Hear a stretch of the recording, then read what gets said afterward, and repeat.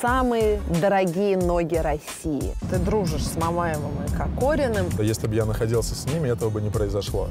Это поколение футболистов вообще не бухает. И вот у вас модная Гаярд, у вас тоже модная Валентина.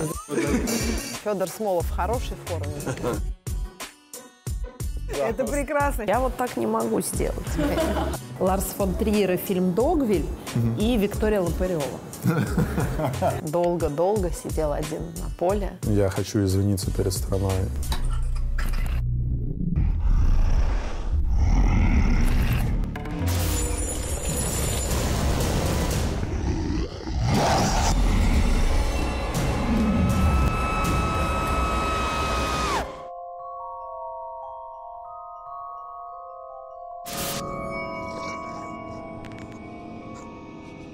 Сегодня я еду встречаться с Федором Смоловым. О футболе я знаю не очень много, но о Феде знаю достаточно. Но все-таки не совсем достаточно, поэтому до моей встречи я решила встретиться, и губы надо еще накрасить, я решила встретиться с анонимным источником, вы знаете, что у меня всегда их много, чтобы все-таки прояснить некие детали. Добрый день, анонимный источник. Да, привет. Привет. Я надеюсь, я буду анонимным. Я внимательно прочитала про весь путь э, Феди Смолова, суперзвезда, много надежд. Что ты считаешь, можно у него такое спросить, о чем его никогда не спрашивали, и что тебе бы лично было интересно? У нынешнего поколения футболистов российских вообще общая проблема одна и та же. Несовпадение масштаба возможностей с масштабом личности. Они имеют полное право думать о себе как о хозяевах жизни. У них есть все то же самое, что есть у Златана Ибрагимовича, но никто из них не Златан Ибрагимович даже на половину левой ноги.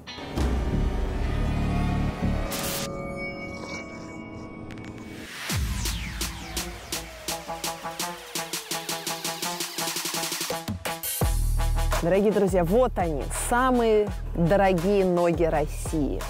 Вот они, настоящие русские скакуны, я бы так назвала. Вот выискиваю своего. Федя Смолов где-то там. Проблема, что они, конечно, вот на таком расстоянии, особенно при моем херовом зрении, а, конечно, выглядят э, все одинаково.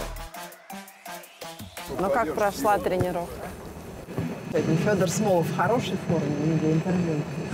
Это вы у него спросите. А знаете, знаете, как форму показывает? Предстоящая игра. Вот она и покажет, хороший он или нет. Тоже верно.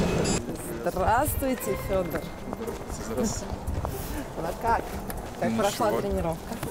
Эм, Не замерзли, Да слушайте, нет, тут нормально. прямо. Сегодня еще более-менее тепло. Да. Было попрохладнее до этого. Ну что, пойдемте, переохлаждение сейчас будет. Так, ну а это парковка, да? Да. У Где не- всё? Где- У нас не автомобильный спорт. Вот, Где? Роллс-Ройсы и Все Бентли? скромно, все скромно. Чемпионы страны, но все скромно. Ну ладно, мне кажется, вы просто ребята. Потемкинскую деревню какую-то сделали к нет. нашему приезду. Нет, Ну а вот все твой наши- автомобиль где? Мой вот там. Какой? Черный Мерседес. Так, ну что, это вот здесь, значит, вы тренируетесь, Да, там здесь мы раздевалки. тренируемся, живем. И вот в графике, когда мы играем по два матча в неделю, мы проводим большую часть свободного времени здесь, нежели дома. Ну к вам при... можно приезжать? Нет. Ну так аскетично. Аскетично более чем. Это тебе не Монако, конечно.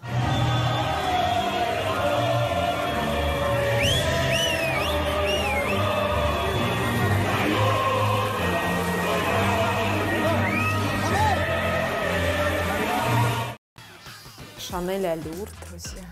Увлажняющий лосьон, атопичная кожа. У тебя атопичная кожа? Сухость, да, повышенная. Так, часы дорогие. Адамар Пиги не подделка.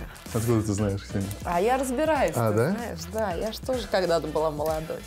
Так, ну это крестик, это что-то, да, обереги. Это на удачу Ну, там мощи святых. ты одеваешь на Да. все матчи. Нет, нельзя играть в подвесках. И все, еще вот здесь ты один, приехать нельзя, девушек нет. Нет. Все, полная аскеза. Да? Ну, я тогда понимаю, почему вы идете в разнос между матчами, потому Мы что... не идем в разнос между матчами. Максимум в отпуске в разнос можно пойти, когда нет тренировок.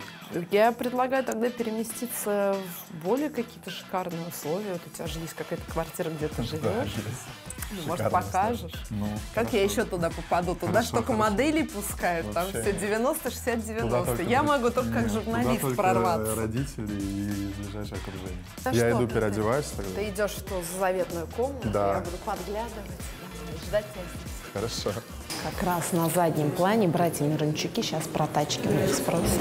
Ну а чем ситуация Мирончуков, спрашивается, отличается? Теперь наконец-то научились их различать. У одного Бентли, у другого Роллс-Ройс. Никак не перепутать. Ксения.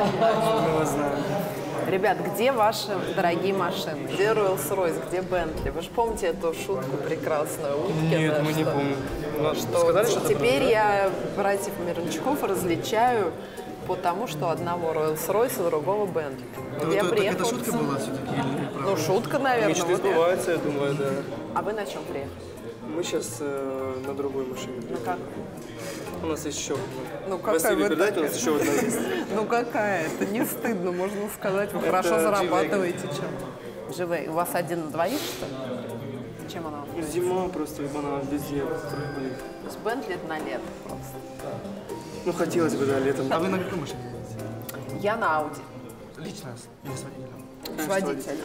А 8. Ну я как, слушайте, за рулем мне тяжеловато уже. Я человек не молодой уже. Не разгляжу кого-нибудь.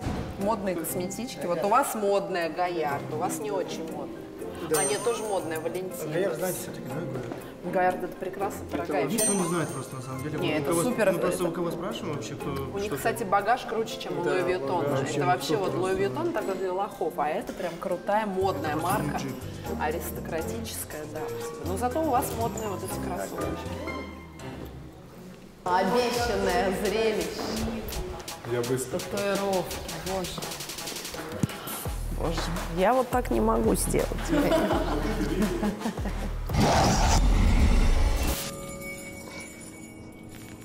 Прав вас лишили, поэтому буду вашим водителем я. Не Отлично. задорого. Не? Присаживайтесь, да, не Прекрасно, задорого. договоримся. Знаешь, будет как в анекдоте. Не знаю, кто там, но водитель у него Собчак. Я, конечно, давно не садился за баранку. Но когда-то я даже в гонках участвовала. Серьезно? Да. Я тоже, когда меня прав лишили.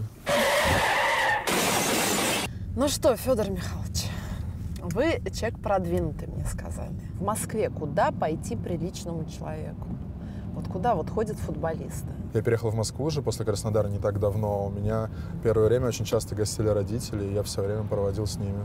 Он бухает, тусуется. Вот Нет, это поколение футболистов вообще не бухает. Среди них бухающих очень мало, и это единицы. Последними, по-моему, нормально бухающими футболистами были березутские. И ты понимаешь, что я имею в виду, потому что березутские, ну, представляешь, они столько лет играли в прекрасной форме все время, но я имею в виду в качестве расслабона, конечно же, вот поверю, что ты прям примерный парень.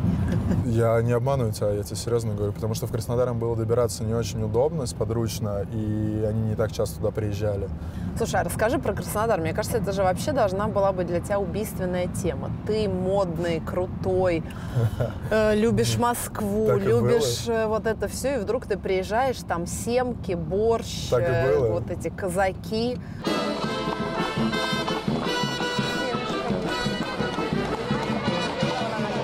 Все вот И это. я стал это же- домоседом. Честно. Но там должно было быть тебе очень скучно, нет? Мне там и было скучно. А что ты делал там? Сидел дома. Ладно, хорошо, в игры играл дома. Ну, играл, да, играл в игры, ч- PlayStation, читал да. PlayStation, на компьютере играл. Ну, там раз в неделю мог сходить в кино и максимум там поужинать в каком-нибудь кафе или ресторане. Хорошо, а любимый ресторан в Москве? Нобу. Там, опять же, мне нравится, что там немного людей. Большое спасибо и Мину, что он функционирует, этот ресторан. Мне кажется, что если бы Но, мне владельцем- кажется, вообще не Ну, прибыльный. да, я про это хочу сказать, что если владельцем был кто-то другой, скорее всего, они бы закрылись уже давно. А вот места типа Лемаре, вот ты любишь Бывает, Марио. Лемаре. То есть вот это пятница, живой оркестр. Вообще нет, пятницу у нас плюс-минус игры в выходные, поэтому... Ну, бывает, что я там оказываюсь. Хорошо. А любимое э, место, ну не знаю, бар, клуб? Сейчас мне кажется, что в принципе а, клубы ночные как таковые, они вымерли. Ну, то есть Ну, они не актуальны. есть Симачев Ну бар. вот, наверное, там. Симачев, да. Наверное, Туда с- с ходишь? Ну, Киса о- бар очень редко. какой-нибудь, В нет? Кисе бар я был вот э, один раз. То есть у тебя какой-то мечты съездить на Burning Man? Абсолютно. Я такую музыку не понимаю и не слушаю.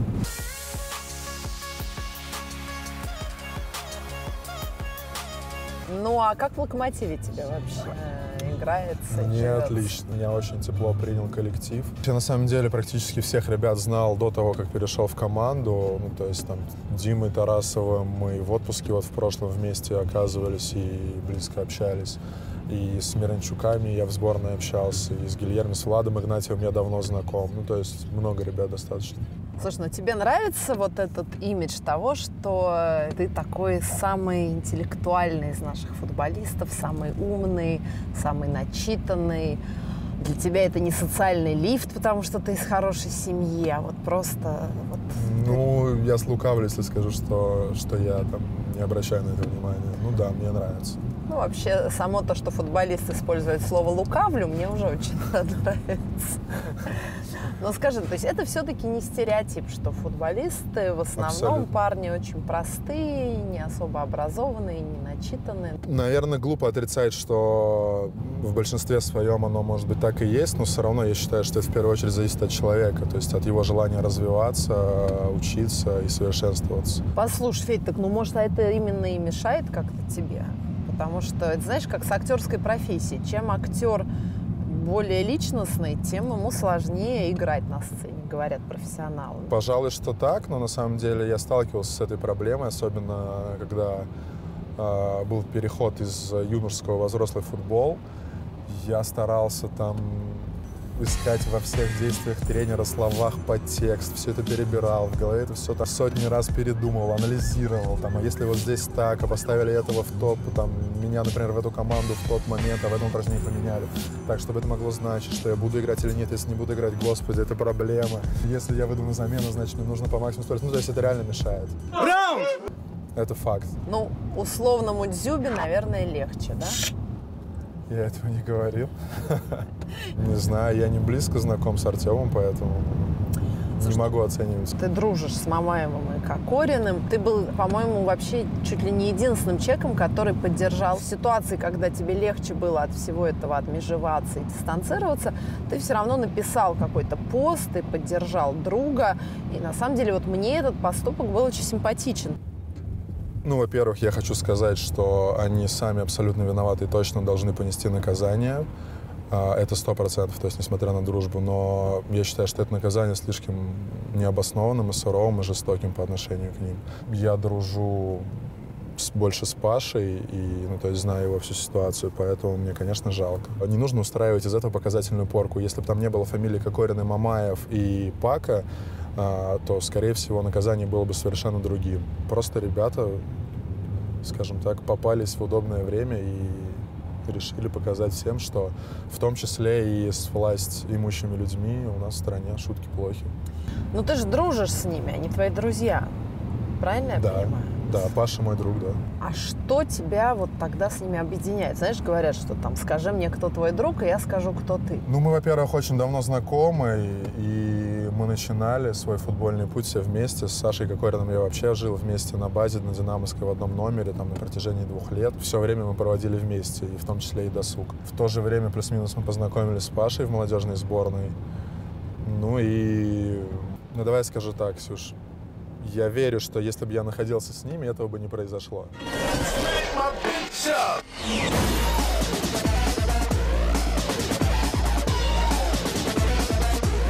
Хочется тебе уже в иностранный какой-то клуб попасть. Вот я знаю, что ты долгое время отказывался от таких средних английских клубов и ждал какого-то шанса. Мы по- плавно подходим, да, к, да, к да, событию? да. Окей. Что тебе предлагали в Реале играть до чемпионата. Ну нет, конечно, если бы мне предлагали в реале играть, я Ну бы, что конечно, шли переговоры, что там. Ну, агент, Типа. мой, мой представитель, мой агент, да, единожды разговаривал с спортивным директором. Ну, А они позвонили зачем? То есть они что спрашивают? Типа, расскажите нам, вот просто мне интересно. про бары тоже любимые в Москве. Ну ладно, скажи. Ну даже вот звонят люди. Я не знаю, Ксюш, я не, я, Мадрида». м, мы, я не углублялся, потому что, ну, как бы, разговор был, мне об этом агент сообщил, я не стал интересоваться там подробностями. Что же тебе было неинтересно? Нет, ну Это, мне было кажется, интересно, но слушай, нет, если бы это какая-то на какой-то конкретике дошло, то, конечно же, я бы там был осведомлен и участвовал в переговорах. Нет, у меня из такого, из реального было вот с Дортмундом, с Боруссией, прям вот я не перешел только из-за того, что там поменялся тренер. И вот Вестхэм как раз-таки год назад, перед чемпионатом мира, я решил не переходить. И... Не жалеешь сейчас? Ж- ну, жалею. Ну, здесь такой момент, слушай, если бы знать, знать бы прикуп, кто знал. У меня была травма, весь отпуск она меня мучила, у меня болела нога. То есть я прикинул, что мне нужно восстановиться месяц, там месяц набрать форму. Я перехожу в совершенно другой чемпионат, совершенно другие скорости. Мне нужно адаптироваться. Я вышел на замену, не забил, там меня перестали выпускать, и я приезжаю на чемпионат мира совершенно не в форме. Ну да, это мы об этом еще пообщаемся сегодня. Доедем. Посмотрим, как ты живешь. Смотрите. Один живешь пока? Да. У тебя сейчас какой статус? У тебя есть девушка? Нет, я I'm single. Да ладно, Ну давно да. ли? А что это такой красивый парень не сын? Ну, с января месяца. Как-то долго. Мне кажется, футболисты, они у них это все быстрее происходит.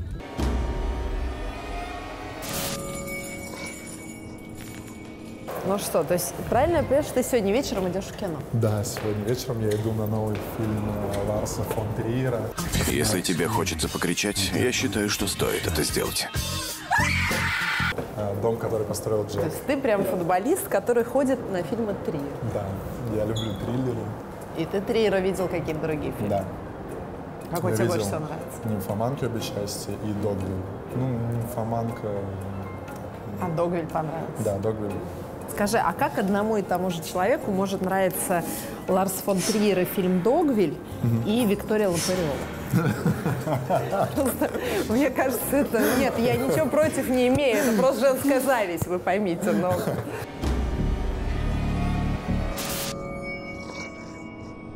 Мы медленно переходим в формат «Пока все дома». Боже мой, в логове футболиста. Курточка Луи Вьютон. Красиво. Луи Вьютон Суприм. Вот сейчас Киркоров с Рудковской рыдают. просто. Так, стиль. Боже мой. Так, это модная тоже марка. Да, Херстон Престон. Найк тоже модный, таких хрен купишь. Все, все на модном. Боже мой. Нельзя быть таким модным человеком. Всё, Кожаные куртки, Сан-Лоран. Слушайте, вообще все как-то... Все По неплохо, да, все по фэншую. Зажиточный шмот. Ничего, что я так пороюсь, мне интересно. Кроссовки, все. Ты любишь всякую Монклер. Такой, ну это скромно, это скромно. Чисто, в скататься. Ты где больше любишь кататься? Я вот единожды катался в Куршавеле как раз-таки год назад. А тебе же нельзя, ну это вот же я, очень, да. я попробовал один раз инструктором. Я не умею кататься, на самом деле, поэтому я вот скромный купил себе костюмчик на один раз. FS – это Да. такая черная метка. Женщина входит, вначале белые тапочки, да? Какая у тебя любимая марка? Вот, не знаю, три любимых марки. Сан-Лоран. Если спортивный, то это Nike, не обсуждается даже. Ну, из последнего а- Ами- Амири мне нравится. Да, это, кстати, сейчас модная история. Вот, все, Альков любви, друзья. Вот здесь только вы по-быстрому, Вот здесь все происходит, да, я правильно Здесь я понимаю? высыпаюсь, набираю сил, восстанавливаюсь. Книги, друзья. Мартин Иден, Джек Лондон, видите? Человек важнее всего протеерея Андрей Ткачев. Это мама, это мама, да. Размышления о жизни. Рэй Брэдбери «Вино из одуванчиков». Каша такая, начал и не стал читать. Святое Евангелие. Боже мой, ты приличный, позитивный парень. Посмотри, Такое бывает. Ну и Федор Достоевский «Униженные, оскорбленные». Это, видимо, чтение после чемпионата. Это вот, кстати, во время чемпионата. Power of Now, сила настоящего. Экхарт Толле, кстати, Экхарта Толле очень люблю. Прекрасно, у него много Да, это я во время чемпионата, кстати, читал. А это мне мама подарила после моего перехода в «Локомотив». Лидеры племя. Интересно, читал ли Дзюба эту книжку? Рюкзаки Суприм, все красиво. Еще одна гардеробная, но это так, все по-скромному. Да, да. Скромно, но со вкусом. Вышитый дракон. Привет Филиппу Киркорову. Бальман, да, тине- тинейджерство. Ну, это прям какой-то басковщина. Ну, я не знаю, Федь, разный. ты же модный Ну, на парень. день рождения надевал, мог себе позволить. Да, ну ладно. Слушай, подожди, я должна сделать это именно в спальне. Это моя мечта. Иди сюда. Нет, я уже взрослая женщина. Вот такая мизансцена. Вставай сюда. Вставай. Показывай мне свои татуировки. Я хочу это увидеть. Я тебя раздену. Ну, я ради этого делала интервью. Я не знаю, ради чего понял. вы думали. Ну, может, майку не обязательно снимать? Нет, майку обязательно. Не стесняйся, я же дальше раздевать тебя не буду. Давай. При- Вот в моем возрасте мужчин уже приходится уговариваться раздеться. Что вот Что? это все? Расскажи. Здесь задумка такая, что это стена, и на ней граффити. плача? Ну, не совсем. Так. Ну, кирпичная стена, и типа все, все надписи выполнены в разном стиле. То есть, типа, ну, графичик подходил и в своем собственном стиле что-то писал. Здесь надпись Вера, Faith is my bodyguard. Здесь Саратов Сити и год рождения. Футбол will be forever in my Ну, она переделана. У меня самая первая татуировка была Forever in my heart и цифра 3. И это я уже потом переделал, потому что я потом набил имена родителей и бабушки. Это Иисус Христос, я так Ну, здесь Святая Троица, да. Ты здесь верующий. Отче наш, да. Крест. Но у меня Простите, основная часть на религиозной Мы русские, с нами Бог. Боже мой, я, эти ребят, у Федора Смолова есть татуировка. Пообещай, что это не будет Нет, прекрасно. Сейчас Захар Прилепин. Я обращаюсь лично к тебе. Федор Смолов имеет татуировку «Мы русские, с нами Бог». Ты выкалывать это на себе не стыдился, а показать сейчас Нет, стыдишься. ну это же мое личное. У тебя еще много места. Вообще, да. Что собираешься следующее накалывать? Как называется программа твоя? Ты, Ага. ты хочешь наколоть Собчак? Ну, как вариант. Боже мой, ну все, ловлю нас. Все, вот была бы Виктория Лопырева, не, надо, не пришлось бы так долго уговаривать парня раздеться. Здесь что вот мне делать? Виктория Лопырева уже была. Все, что уже об этом говорить? Ну, слушай, у тебя много кто был. Это самое интересное из всего, что было. Кто много Вот ты мне, кстати, скажи, а почему вот у футболистов вот такие вот типичные? Вот Вэг? Инстаграм, э, модельное прошлое, шопинг. В Англии они называют это wax. Ну да, но я думаю, что это связано как бы с окружающей средой, бытие. То есть вот опять же, наверное, это то, о чем ты говорила, что какие-то места, где тусуются футбики, там, наверное, плюс-минус тусуются и такого, Кого там еще такого, такого рода женщины, и поэтому как-то так Понятно. всё завязано. Ну вот мы плавно подошли к Владимиру Я Путину. ждал. А почему именно вот ты решила повесить эту фотографию? Это то, чем ты больше всего гордишься в жизни? Ну, этим я горжусь, да, это мой президент. Так. Ну, я в смысле, почему ты именно повесил эту фотографию, а не, например, не знаю, ты забивающий гол или ты с каким-то, с какой-то наградой и так далее. То есть почему Ну, этот, вот этот момент награда, важен? награда, почетная грамота президента Российской Федерации. Нам тогда вручили а, звание заслуженных мастеров спорта. Смолов Федор Михайлович, заслуженный мастер спорта Российской Федерации. Это олицетворение успеха сборной России. Ну, Понятно. знаю, Голосовал решил- за Путина? А, Я пропустил голосование. У меня загранпаспорт, у меня не было российского паспорта с собой. Меня вот администратор сборной подвел и сказал, что можно полететь с загранпаспортом, и я российский не взял. Ну, понятно. Ну, так бы голосовал за ВВ. Да. Несмотря на это, я как бывший кандидат все-таки Да, проведу да, да. с тобой интервью.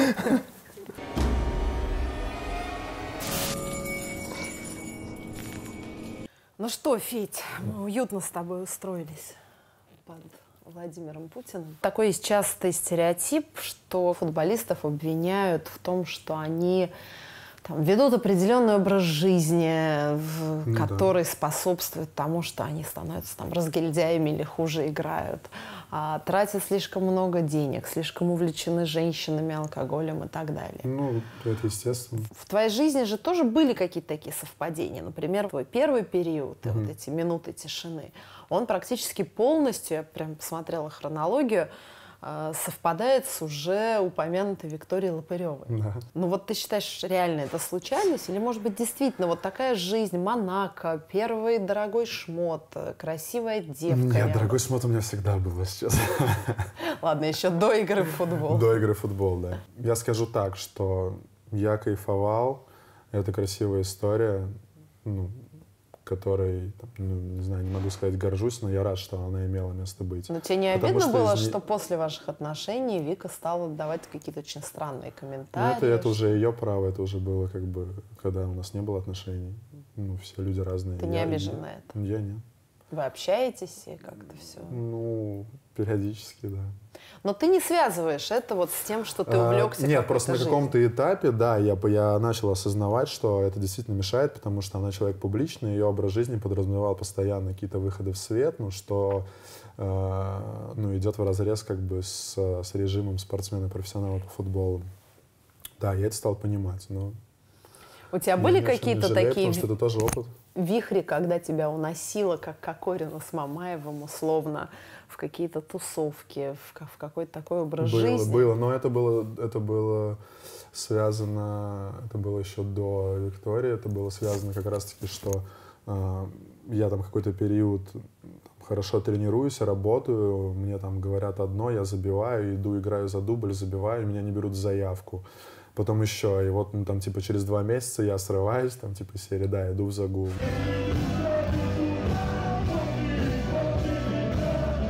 ну, из серии какого хрена я там пашу, меня, на меня не обращают внимания, предпочитают мне там какого-то иностранца, а, 32-летнего, просто потому что тренер боится его посадить, потому что ему руководство скажет, что мы за него деньги заплатили.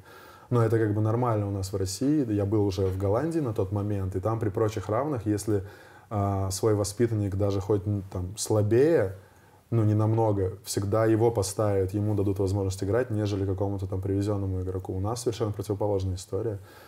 Ну да, бывало, конечно. Одна из больших проблем наших российских футболистов заключается в том, что они личностно как бы не дорастают, не успевают дорасти до того уровня жизни и славы, и денег, и всего, который они получают. И получается очень большой разрыв между Мгм. тем, что ты уже очень богат, знаменит, известен по совокупности разных причин, а масштаба личности у тебя это все освоить нету. Мгм. У тебя начинается звездная болезнь, тебя начинает рвать в лоскуты. Ты не понимаешь, как с этим совсем как бы жить и что с этим делать. Ты согласен с этим? Ну, скорее да, чем нет. Да, я, я согласен. То есть ты считаешь, пожалуй. это проблема большинства футболистов? М, Да. Слушай, а ты на себе чувствовал вот эту историю того, что ты, вот ты действительно говоришь, ты из благополучной семьи. Папа у тебя интеллигентный человек, при этом игрок, игрок в карты серьезного уровня, много зарабатывающий. Откуда такая информация? Ну так же. Ты же, ты же тоже это знаешь. Ну, в прошлом, да. Ты так говоришь, как ты этого стесняешься. Ну, Чё, он же не нет. шулер карточный, Нет. это профессиональный игрок в карты. Да. Вот как бы... Может, ты, кстати, ты умеешь играть в карты? Нет. Ты не играл с ним никогда? Нет. Нет, я умею играть, но я не азартный человек, то есть у меня нет тяги там. Ну, в интернате, когда жил, да, там сходить в аппараты с пацанами, там, на лишнюю А во ты- что тыщенку играл? крутануться, там, как бы не... Почему нет? А папа во что играл? Слушай, я не очень углублялся, потому что мне Ну, это в не покер. очень- Играл в покер, да. Ну, покер, кункен, бура, там, во что они играют. не знаю. Но тебя это никогда... В абсолютно. Ну, то есть я приезжал, я был там в казино, да, мне нравилась эта тусовка, он меня познакомил там с людьми, с определенными. вот. А во Я что, там ты в рулетку, ты я в этим блэкджек? Нет, я просто приезжал, я там кушал, сидел, общался, смотрел телек. Ну, просто То есть ты не в- играл, у тебя в этого азарта не было? М-м. Мне никогда не тянуло, не хотелось. Но это тебя всегда отличало. Ты как бы, вот ты говоришь, у меня шмот был всегда. У тебя действительно там богатый папа, богатая семья. А, вот Ну, ты чувствовал свою в этом смысле... богатая, ну, ну, зажиточная, да. Обеспеченная. По сравнению с семьей Мамаева, ну, слушай, у тебя богатая семья, давай так. И ты эту разницу ощущал? Э, Ну, вот, знаешь, как бы, может быть, что на тебя смотрели как-то по-другому, что это такой золотой мальчик и так далее. Мне, знаешь, что один раз не, не- было непонятно. У меня была история в «Динамо», когда ну, вот я был молодой, мне было, наверное, лет 19, и что такое. И парень, который на тот момент играл в «Динамо», он разговаривал со вторым тренером, И он задает ему вопрос, мол, не ставить, он хорошо на тренировках выглядит, он в порядке. А, на что ему взрослый мужчина, у которого сын был плюс-минус мой ровесник, говорит, а ему этот футбол не нужен. Ну, он задает ему вопрос, почему, с чего вы это взяли. Ну что, он маш- машину одну разбил, ему папа на следующий день новую отдал. Так и было? Ну, была ситуация, да, когда я попал в аварию, вот. Ну и, и просто он говорит, ему не- нет необходимости играть в футбол, у него и так все хорошо. А вот другой парень, он типа из бедной семьи, он голодный. И меня это настолько поразило, я когда это услышал, я говорю, нет, типа не может быть такого, он взрослый мужик, он не мог такое сказать. Ну и... Кстати, по поводу разбитой машины, это же речь идет про вот ту Нет, ситуацию. не Нет, не не ту. Не в Краснодаре, когда у тебя права отняли, да, я так Да. понимаю? Был не трезв за рулем? Нет, я был трезв. Я могу по секрету рассказать тебе, честно. Окей, давай. У меня были просроченные права, я поэтому уехал с места ДТП. Я понял, что машина разбита, я побоялся, она была застрахована, каска, все. Я понимаю, что окей, у меня просроченные права, и мне, скорее всего, ну, соответственно, не выплатит страховая. А потом с утра я позвонил как бы юристу, просто посоветовался и поехал сам. Ну это же тебя прям как крылья обрезали. Ну хорошо, смотри, э, несмотря на то, что в карты ты не играешь, э, папа у тебя картежник, поэтому Да. я решила тебя научить Откуда играть инфа? в карты. Расскажи. Смотри, ты мне уже сказал свою главную тайну, что с января месяца ты холост, правильно? Сейчас мы проведем чемпионат мира по выбору самой идеальной, красивой, замечательной девушки. Тут реальные девушки, которых я тебе лично отобрала. Лучшее, что есть на рынке. Вот, начнем мы, ну как это вот, э, с четвертьфинала начнем. Давай. Так, у нас в четвертьфинале Ирина Шейк и Виктория Бони. Знаешь лично Ирину Шейк? Нет, лично нет. Не знаешь? Кстати, я ее знаю, кстати, красивая девушка, правда. Ну Ну, да, и красивая. Виктория Бони тоже очень ничего. Я не глубоко с ней знаком, поэтому... А что для того, чтобы знать, как она, надо быть глубоко женщиной, Ну, я имею в виду, что мы не- обязательно. Ну, так, поверхностно, при- в приятельских отношениях, поэтому я стараюсь не делать выводы о человеке, если... Ну давай, надо кого-то выбрать. Кого? Ирину Шейк все-таки, я чувствую, да? Ну, Да? ну да, ну на фарт просто она вот На фарт. Но я знаю, кстати, почему Ирину Шейк, потому что твоя девушка Миранда Она была пох- похожа, практически да. Да. А тебя вот не смущало, кстати, что ты вот Но она просто на, фо... практически- она на фотках. э, просто ладно, она там очень жизнь. похожа Ну, на Ирину похожа. Шейк была, ну Ну, ладно. похоже, да. Она себе сделала же пластику под нее. Да? Она сказала? Ну, как, ну, мне кажется, это очевидно. Нашли же какие-то фотографии еще совсем молодые. Ну, то есть это неплохо, но Я просто... не видел. Ну все, мы выбрали Ирину Шейк. Все, окей, да. хорошо. Ирина Шейк, так. Выходит в полуфинал, мы ее пока откладываем. Так, второй четвертьфинал. Водянова и Катя Клэп. А, Я слышал вот пару раз это имя. Это блогер, да? Да, это блогер известный. Ну я прям вообще с творчеством я не знаком, поэтому... Наталья- Водянова, конечно, Да. да. Ну, слушай, у нас хороший полуфинал. Практически Неплохой, да. когда, как с Хорватией. Ивлеева и Самбурская. Обеих знаешь. Лично никого не знаю. Так, ну вот по фотографиям. Что, в Инстаграме подписан на них? Мгм. Ну вот на кого подписался? Давай, выбирай. Да, обе хорошие, понятно. Не знаю. Ну, ну, кого берем? Ивлееву. Ивлеева. Так, Она, она в тренде сейчас. Последний четвертьфинал. Бузова или Барановская? Барановскую знаешь? Да, Бузова Знаю. мало половин напиваешь в душе? периодически. Вот.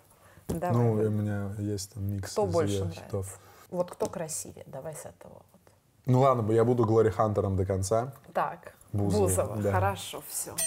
Starfucker. Так, итак, у нас полуфинал. Помешаем, помешаем. Сдвинь. Отлично. Так, полуфинал. Бузова, Водянова. Nice. Опа! Наталья. Наталья. Слушай, у нас будет отличный финал, я чувствую. Ирина А. Ивлеева. Все. Боже мой. Ирина так, Шейк.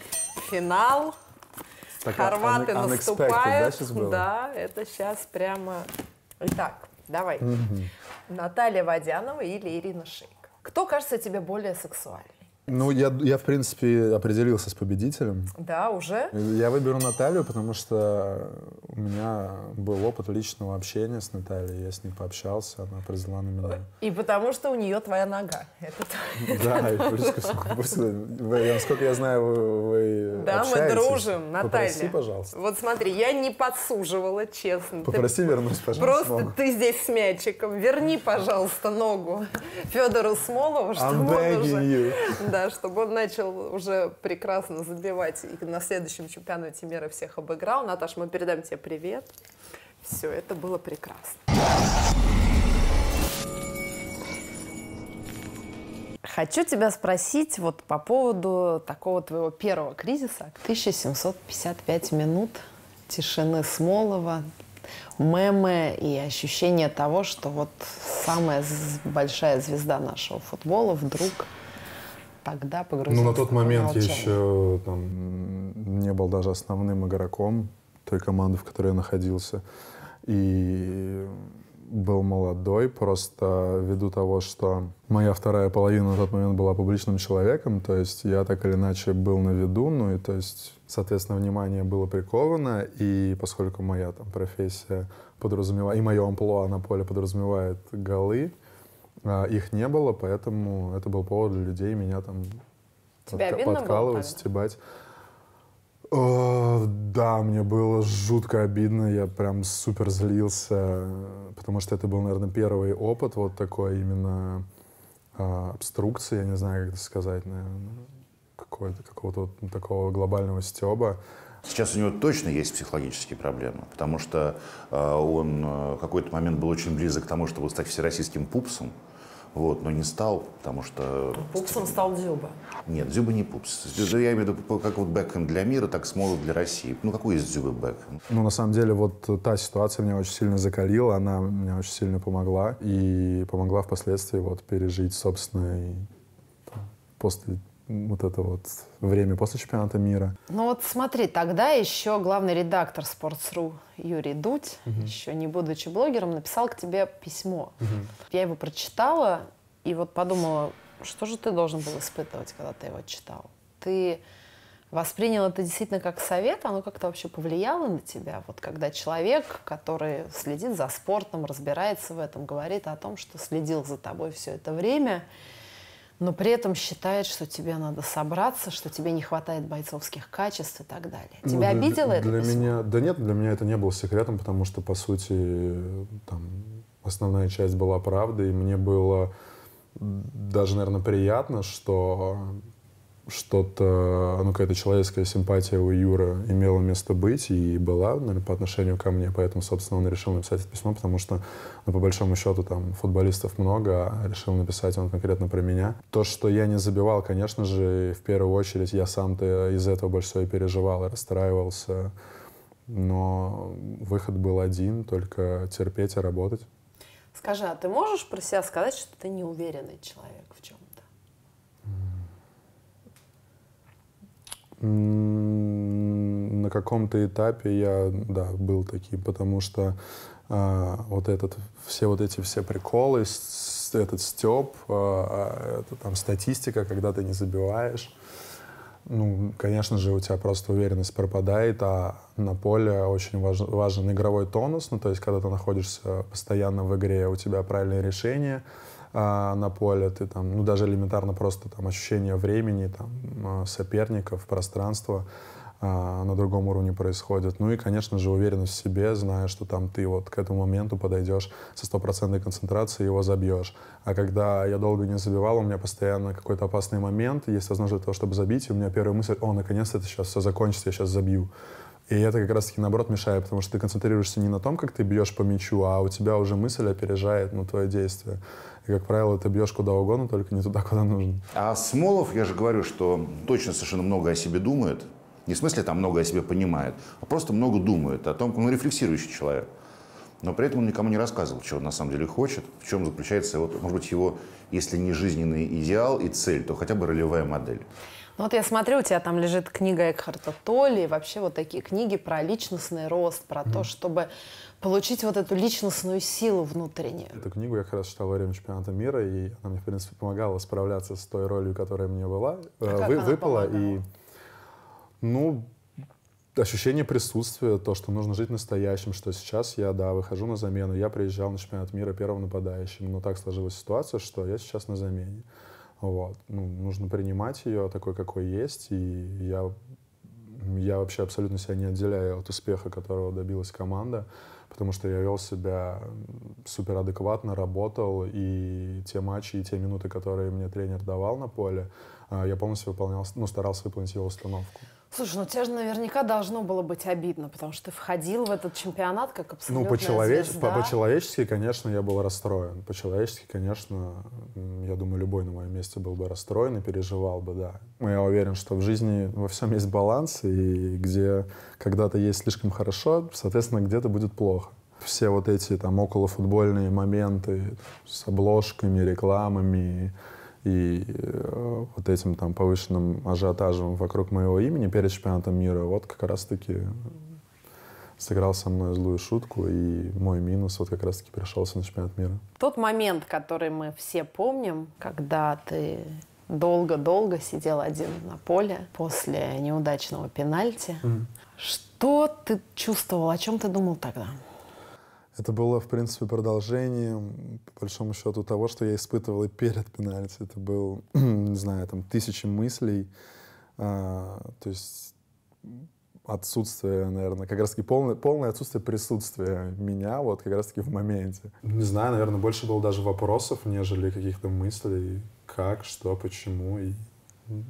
Ты говоришь, что это было и до пенальти. Ты выходил с таким ощущением, у тебя было внутреннее ощущение, что ты не забьешь? Нет, я расскажу, как было. То есть э, за неделю до этого мы играли против Испании, и, и я первым пошел бить, я был спокоен, реально, я был уверен, что я забью. Ну, то есть не то, что я был уверен, что я забью, но я, по крайней мере, шел спокойно, зная, куда я буду бить, и что если я пробью так, как я умею, то, скорее всего, это будет гол, даже если вратарь угадает угол. И, соответственно, проходит неделя, после этого мы разговариваем там со всеми ребятами, обсуждаем во время подготовки к хорватам. И Игорь Акинфеев, мы сидим в бане, как сейчас помню, он говорит, мы вот перед матчем готовились с тренером по вратарям, мы смотрели, куда бьют испанцы пенальти, и они пробили все туда, куда вот мы смотрели видео. То есть он говорит, я знал, куда они будут бить, они пробили все ровно туда, куда я ожидал. Э, мы не тренировали пенальти перед хорватами, то есть наступает серия пенальти, и я начинаю как бы на фоне этого думать, окей, я пробил в предыдущем матче влево, а, а там еще э, вратарь у хорватов, ну, он такой достаточно крупногабаритный, высокий. Я смотрю на него думаю, блин, если он сейчас угадает, я пробью не очень хорошо, а он, скорее всего, будет ждать влево. Куда мне бить? Вправо я не тренировал. Ну и вот, и, ну и все, и вот началось, сам себя начал раскачивать. Да, на тот момент я был не уверен в своих силах точно. А, по прошествии времени а, я, я хочу извиниться перед страной за это пенальти. А, в свое оправдание могу лишь сказать, что манера исполнения пенальти э, не была попыткой выделиться или выпендриться. Как раз таки эта манера была ввиду того, что я вот не до конца понимал, куда мне стоит пробить. Это было именно от неуверенности в своих силах и от растерянности. То есть, в принципе, если бы я, если бы у меня там не, не тряслись коленки, я бы исполнил это пенальти, ну, именно техническую часть нормально, то я бы забил его. Я подумал, как, что, скорее всего, он будет гадать, упадет влево, а может, вдруг вправо, я пробью по центру.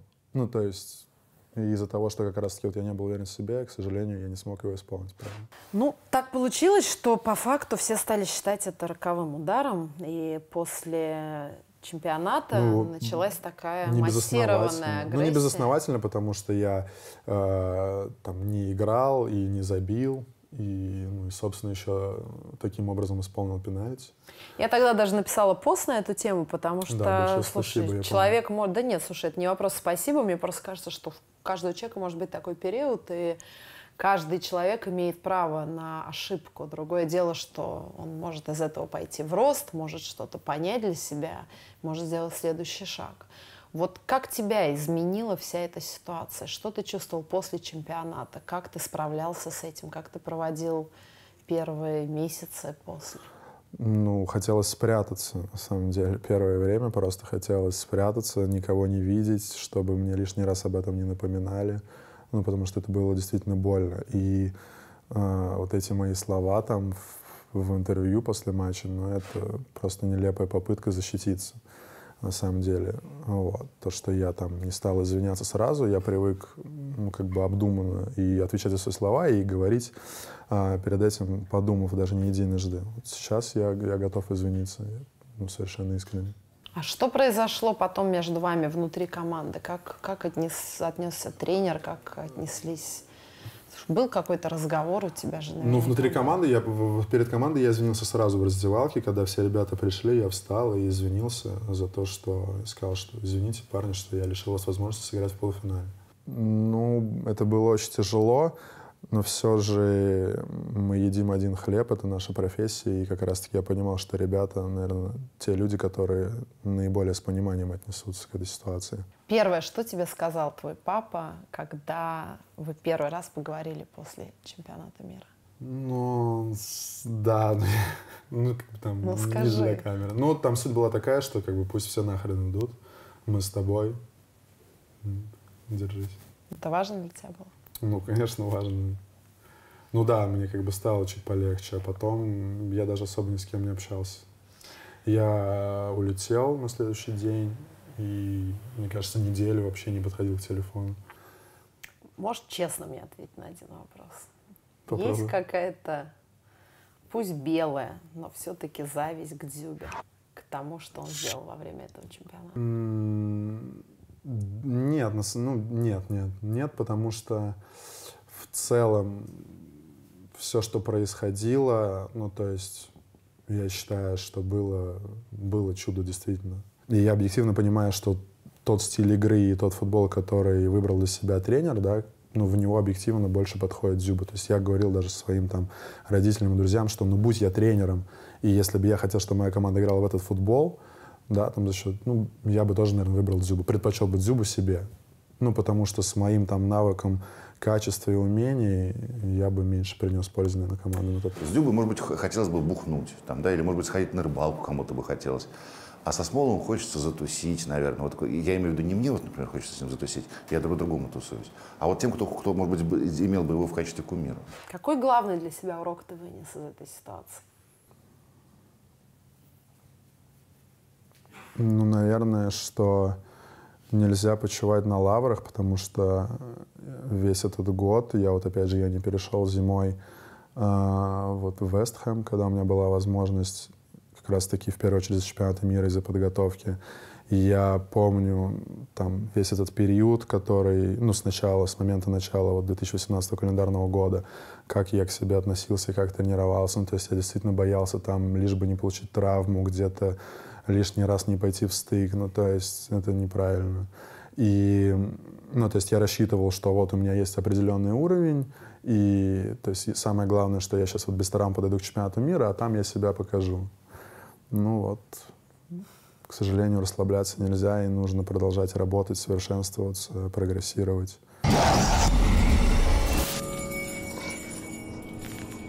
Ну что, и последнее мучение. На этом мучение еще не закончились, а, ты да? не думай. Я женщина крайне неприятная. Значит, смотри, я как Это начинающий неправда. блогер угу. тоже хочу быть в тренде. Ты придумал и... себе никнейм новый? Значит, модное. Давайте, мне кажется, надо устроить конкурс. Надо придумать мне какое-то модное блогерское имя. Миссис Икс. Да, почему ты, кстати, креатор? Креатор? Да, креатор. Что это значит? А... Что это же создатель, это что ты? Ты себя как бы равноположенным Богу? Ну нет, на самом деле все проще гораздо. Я просто на каком-то этапе слушал Тайлер The Creator, есть рэпер такой, и я вот у него взял. Ну и я считаю, да, что во мне есть нотка такая. Создателя? Ну, это, это больше подразумевалось, что на поле, да, там, типа, я могу что-то что придумать такое нестандартное. Пойдешь ко мне в штат? Кем? Креатором. Это творцом? Если перевести.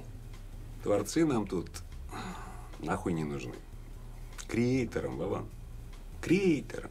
Ну все, видите, у нас тут в студии креатор и миссис Икс. Вы тоже, кстати, думаете, предлагаете варианты. Короче, к чему я это? Сейчас... э, Меня, кстати, многие называют креатор.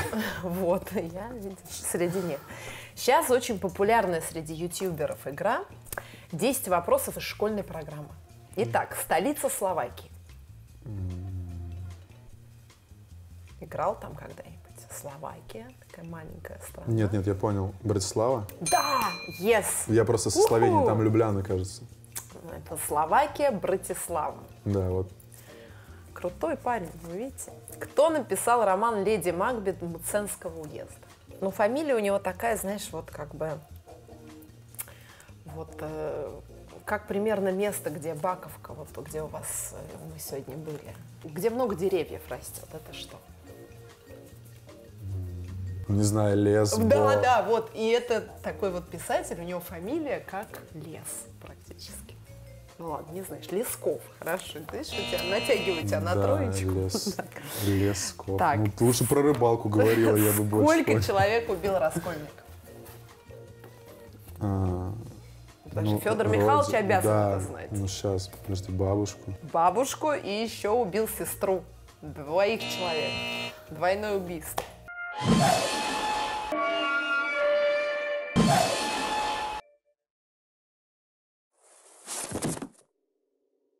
Как в таблице Менделеева обозначается золото? Это должен знать А, бабло. Подожди. Золото. Да, да, да, да, сейчас. Пишут еще на кольца. Да, вот ну подожди, Ксюш, браслете. я вспоминаю. Это AU. Да, да, AU.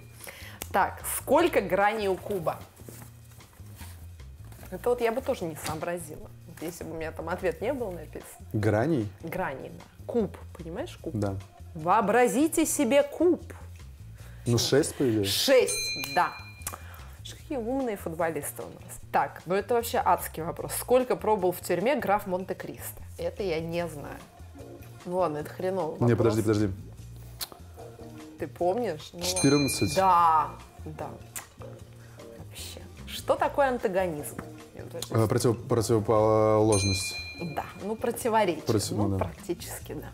Что такое девальвация? Э, обесценивание. Да. А, какое имя и отчество у Куприна? Александр Иванович. Тот самый. В каком году началась Первая мировая война? Дэн, ну вот на дату у меня всегда плохая память. Мировая в 14. Ну ладно. Последний вопрос. Ты точно знаешь на него ответ, раз мы сидим под Путиным. Расшифруйте аббревиатуру ЦРУ. ЦРУ, знаешь, что такое? Да. Я Ну, там работаю. ЦРУ. Как, э, как Подожди. А, ЦРУ, ну подожди, это не CIA. Просто Ц- C... Это CIA, да. Ну, по-русски, да, просто как вот ЦРУ. CIA, все правильно. Я понимаю, что вы плохо говорите по-русски. Это CIA, yeah, I understand. Ну, что это может быть? Центральное Да. ЦРУ. управление, наверное? У. Да, а в середине какое слово? ЦРУ. Он ЦРУшник. Он что делает? Разведывательное? Да. Yes. Давай пять. Ну все, мы прошли школьную программу. Федор, на этом, я считаю, мучение твои Серьезно, с датами прям вообще у меня... Я, если честно, один раз даже отца забыл поздравить с днем рождения. Ну, сейчас помнишь, какого Да, конечно. Когда у папы день? 12 ноября было не так 12 давно. ноября. Твой папа тоже скорпион, как Да. и я. А у Тебя- мамы 14 декабря скоро будет. Отлично. А когда день рождения Владимира Путина? No idea. Ну, это вообще... Это надо знать такие даты. Правда? Да. Почему? Ну, я тоже не очень знаю. Мне кажется, то ли 6 октября, вот что-то такое. Седьмого. 7, да, вот 7 октября. Ну все, теперь мы Ну, запомним. вот на этой ноте, собственно говоря, я хочу сказать огромное спасибо. Спасибо тебе. Я Ксюш. впервые встречаю человека, который не просто умеет что-то делать профессионально, футболиста, еще который ходит на фильмы Триера при этом и идет на выставку Куинджи, если не врет. Не, да? не иду, потому что я пожертвовал выставой, выставкой Куинджи. Всё, Не знаю, сто, тебя, стоило чтобы ли я провести того. с тобой время. Стоило абсолютно Спасибо точно. тебе, но это было круто.